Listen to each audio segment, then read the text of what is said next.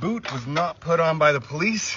It was put on by our neighbor. You know, when I see stuff like this on the internet, man, it honestly baffles me because I couldn't imagine having that kind of relationship with my neighbor. You know, I've never even had a neighbor speak to me in the wrong tone of voice. So to have one stupid enough to come and put a boot on my car, man, and then like the decorum y'all have, commendable. Because you know, if my neighbor put a boot on my car, then well, then I'd put on a boot and park it from toe to kneecap off in their